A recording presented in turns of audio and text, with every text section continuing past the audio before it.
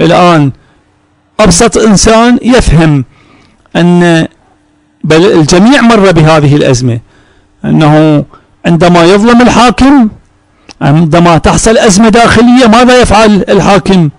يصدر الأزمة يصدر الأزمة إلى هذا البلد أو إلى ذاك البلد إذا هذا البلد جار أو إلى بلد آخر جار يثير قضية خارجية يثير مشكلة خارجية أو داخلية.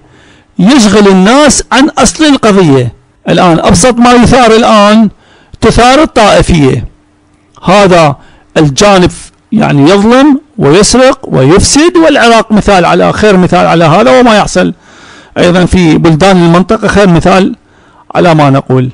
إذا يظلم يفسق يسرق يفسد في الأرض وبعد هذا يتحدث ويثير قضية معينة يسخر الإعلام لهذا والأقلام المأجورة فيصبح هو العبد المؤمن والمنقذ وحامي المذهب وحامي الشريعة وحامي الإسلام وحامي الطائفة وحامي القومية وبطل العروبة والبطل الإسلامي والفاتح والمخلص وتصب عليه ويقلد الكثير من العناوين الكاذبة الفارغة. إذا تصدير الأزمة صار معروفا عند الناس.